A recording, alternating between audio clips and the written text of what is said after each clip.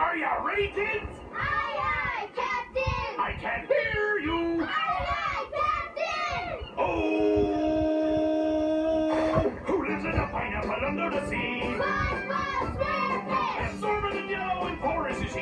SpongeBob SquarePants! If nautical nonsense be something you wish, SpongeBob SquarePants! then drop on the deck and flop like a fish.